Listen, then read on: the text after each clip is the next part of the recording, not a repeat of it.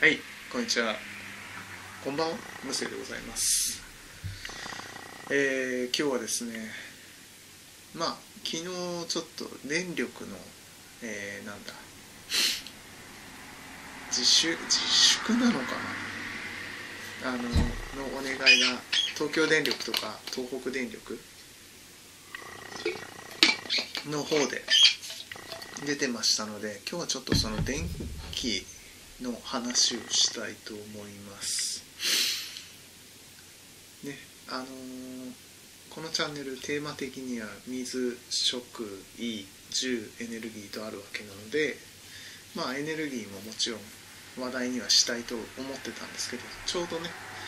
あの電力不足なんていう話があったんで、まあお話ししてみようかなと。でですね、えーまあ今原発が止まっていてほぼ火力発電に頼っている状態だと思うんですね。今日本で稼働してるのって1箇所ぐらいじゃないですか原発ってね。でなかなかあの東日本大震災の後は動かせない状況になってますという状況なんですけど。で今まではまあ火力発電で、えーどうにかなってたんですけどなんで昨日だけあんな大騒ぎしたのかちょっとそこが不明なところではあるんですがまああのーどっか大きい発電所があってそこからこう電気を配る送電するっていうやり方が今やってると思うんですけどこれはねやっぱりうまくいかなくなるなっていうのは思ってます。あのーよくですねどれだ？この図を出すと思うんですけどあの土の中の暖流化構造ですね。一個一個の、まあ、土の粒に、まあ、微生物とか水とか有機物が入っていてここが一つの、まあ、生命体みたいな感じになっていてで この生命体同士がネットワークを組んでそのネットワークで、えー植物を育てるっていうのが土壌微生物、まあ、森の土なんかはそうなんですけど、えー元気な生きている森の土はこういう状態ですよっていうお話を、まあ、よくすると思うんですけど人間で言えば腸内フローラ腸内環境腸内微生物が元気であれば人の体が、えー人が元気になるということですよね。まあ、言い換えてみればそれぞれの粒が生きている生命体であるというふうに言えると思います。で話を電力に戻すと えっ、とですね電気もこういうふうにそこここで小さい単位で発電していけばいいんじゃないのっていうのが今日のお話です。あのだから例えば火力発電所であったり原子力発電所であったりそこがうん、それこそねなんか地震で潰れてしまったりあるいはあのロシアみたいにね戦争で動かなくなってしまったりとかあるいはその発電所から、えー各家庭に送る送電線が無事って何かのね弾みで切れてしまったりとかするともうそのとある一箇所がダメになったらそこの周辺のうんだからここで言えば関東か。関東とか東北とかが一気に東電してしまあ停電してしまうブラックアウトしてしまうっていう状況を招きかねないですよね。だから各、えー地域ではなくてもっと小さい単位各家庭各家で電気を作っていけば、まあ、災害とか、まあ、有事の際にも、えーまあ、戦争とかね、まあ、災害とかが一番考えられると思うんですけど災害の時にも困らない状況、うん、困らないようになるというふうに考えてます。で、えーまあ、発電する方法はですね太陽光発電とか風力発電とかあるいはもうちょっとこう技術が進んで超小型原子力発電とかねあるいは水力発電とかまあその辺はどれでもいいんですけどあの要するに各家で発電するっていうことが肝になります。重要なところになります。でそうすると例えばこの青いうちでなんか発電できなくなった。で修理に1週間ぐらいかかるって言ってそこでね1週間電気使えないとなるともうちょっとこれ生活しづらいですよね。そういった時に他の周りのお家から供給してあげるっていうふうにすればまあ1週間どうにかやっていけるんじゃないかというのが、まあ、この発想ですねそこここで生きていてでえー、余った電気は他のお家に送るとかあるいは発電が止まってしまったお家に送るとかそういうようなやり取りができるネットワークを作るということですね。であとあの発電所からそのどっかに送る時って電線を通るだけで電気って放電していてどんどん消費されちゃうんですよね。だから今の例えばね福島でえ原発で発電して関東地方に送るっていうと相当ロスしてるみたいで一説に言うと半分ぐらい作った電気の半分ぐらいしか送れてないっていう話も聞いたことがあります。というわけです。ものすごい無駄が多いんですよね。遠くの発電所からねあの電気を送るっていうのはものすごいロスが大きいということになりますので電気を使うところで電気を作る。これが一番効率がいい。電気を生かしきるっていうことになりますね。はい。でただいやいやいや太陽光発電ごときでその家のね屋根に並べる太陽光パネルごときで、えー、電気を賄えるのか。賄えます。これね、えーと私も何件か2件ぐらいかなあの見に行ったことがあるんですけどオフグリッドって言ってその 東京電力から、えー、電気を買ってないで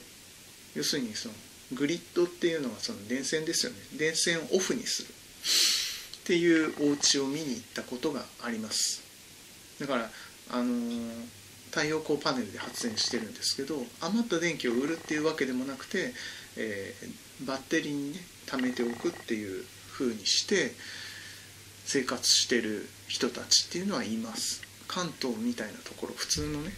そのだから何ていうのメガソーラーみたいに太陽光パネルたくさん並べてやっとできるんじゃないのっていうとそうでもなくて意外とね少ない、えー、太陽光パネル設備でできてしまうと。で実際にあのインターネット探してもらうとですね結構出てきますで私もねお話聞きに行ったことがあるんですけど見えるかな？えっ、ー、とね佐藤千佳さんっていう人のお家もやっぱり、えー、オフグリッドになっていてすごいのはですねこれ佐藤さんちあなんか今は引っ越したのかな？この家はだから別の人が住んでるかもしれないんですけどえー、っと見て分かりますかね？太陽光パネル8枚しか乗っかってないんですよ。でもこれで賄えるそうです。面白いですよね。さっき見ていただいたこの絵この写真見て分かる通りあの普通の キッチンの家具は並んでますよね。冷蔵庫があったりオーブントースターがあったり。いわゆる普通の電気製品を使ってても生活できると。あまあもちろんテレビとかね洗濯機とかも使ってるらしいんですけど。あとねこういうエアコンも設置してあったりとか。するそうです。で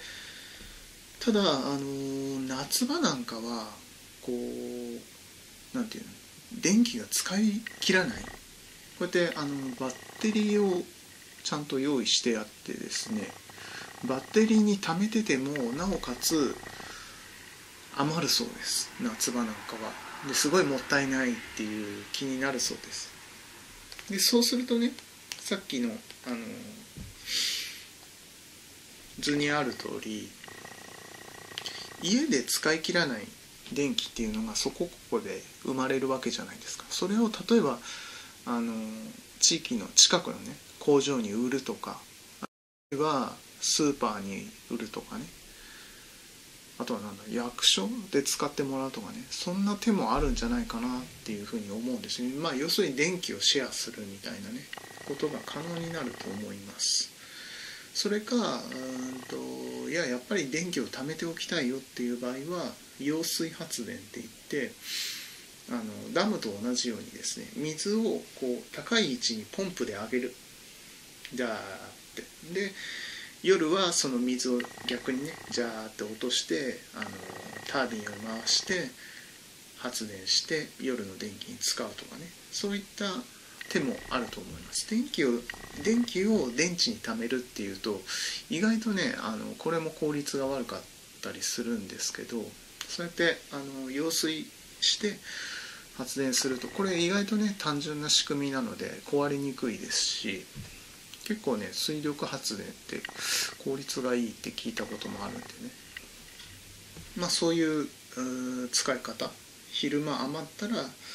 ネットワークの中で使ったりとか、まあ、どっかの揚水発電するとかそういう方法で貯めておくことができますと。でこのバッテリーなんですけど、えーと、買うとね新品だと100万ぐらいするそうですこのセットで。だけど中古であるんですあるらしいですというのはあのヤフオクヤヤフオクとか見てもらうと分かるんですけどえっ、ー、とねフォークリフト。工場とかで荷物を運ぶあの運搬車電動の運搬車フォークリフトっていうのがあるんですけどフォークリフトの中古の電池が結構インターネット上に出出回ってます。でそれで、えー、まあ貯める蓄電池用のねこういうふうに並べるとまあ50万ぐらいで組めるそうです。まあそれとあとまあ太陽光のパネルとかはちょっと別としてもね。でえっ、ー、とこういうね電気で、えーと、一番電気を食うのって暖房なそう暖房だそうです。だから、まあ、こたつ今私も入ってますけどこたつとかあるいはエアコンですよね。エアコンってその空気を温めなくちゃいけないのでものすごい電気食うんですよね。でそこはあの電気だけじゃなくてもうちょっと別の手段を考えるといいと思ってます。これはだから電気を作るっていう話だけじゃなくてエネルギーを作るっていう話ですよね。熱エネルギー。で熱は熱として使った方が多分効率はいいんですよね。あの太陽光をその太陽光の熱をそのまま使う。だから例えばここに、えー、あるのがですねあのこれは給湯器。太陽熱温水器か。これで、えー、例えばお風呂のお湯を作ったりキッチンで使うお湯を作ったりあるいはこれを例えば、えーと、床にね配管して床暖房にするっていう手もあると思います。で、えーと、熱自体は太陽光でこう集めてあとはちょっとねポンプで回してあげれば水は循環しますのでそれであの床暖房できると思います。そうすると昼間なんかは冬冬の昼間はほとんどあの電気使わずに暖房できるんじゃないですかね。ちゃんと太陽光が当たってれば。まあ夏の光と違ってちょっとね冬の太陽も弱い、まあ、角度があの鋭角になるので太陽エネルギーとしては弱いかもしれないですけどそれでもかなり温める力ってあると思うんであの結構有効かなと思います。あとは、えーと、土の熱と交換する熱交換するっていうのも一つの手だなと思います。あの土の中って冬でも大体16度ぐらいなんですよ。えっ、ー、とあの浅いところじゃなくてちょっと深いところに入るとね16度ぐらいになるので例えば部屋の中で冷えた空気をその16度ぐらいのまあ多分水で回した方がいいのかな。まあ床暖房の仕組みって多分水じゃなくて油みたいなのを使ってるとは思うんですけどそういうものを使ってですね熱交換して部屋を温める。あるいは逆に夏場でも土の中って16度逆に冷たいですよね。それであの部屋の中を冷やしてあげる。っていうふうにすれば実は冷暖房ってそれほど電気を使わずにやれると思います。だから電気は電気じゃなきゃいけない部分に使って熱は熱として、えー、熱は熱をそのまま使うっていう形ですかね。っていう方法の方があの効率はいいと思います。だからそうやってやっていくとあの各家庭での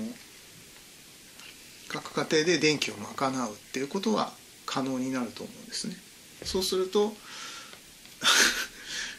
その各家庭でまあ生きているっていうかねそこでエネルギーを生み出すわけですから。人間の細胞で言えばミトコンドリアですよね。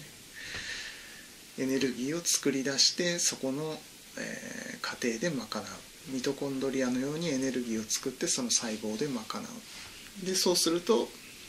まあ、えー、災害に強い町ができると。効率が良くてね。外からも電気をもらう買う必要がない。そこで賄えるっていうのが実現すると思います。まああのまあ、太陽光パネルにしろ電池にしろもっとね技術が進めば効率化できると思うので意外とこれはそんな遠い未来じゃないと思うんですよね。ただ、えー、実際にやろうという人がどれぐらいいるかだと思うんですよね。まあ確かにあの初期投資はかかります。太陽光パネル用意したり電池用意したりあるいはさっき言ったみたいに熱交換の、え仕組みを作ったりっていうとそれなりの設備はいるんですがまあどこにもつながらない独立して例えば周りがねどんなに停電してもうちだけは電気使いますよっていう状況が作れる。それはそれですごい面白いんじゃないかなって思いますけどね。まああのちょっと自分のうちもね自分のうちもですねそのうちこれやりたいなとは思っていて実は私あの電気工事士の資格を持ってたりするので電気工事できるんですあだからさっきのあのシステム作る時はちゃんと電気屋さんにお願いしてくださいね。これ自分で勝手にできませんから。あの危ないんでね。電気って本当に危ないところはあるんで。はい。まあそのうちねそういうオフグリッドのお家にしてみたいなとは思ってます。ということで、えー、今日は電気のお話でした。以上、無声でした。ありがとうございました。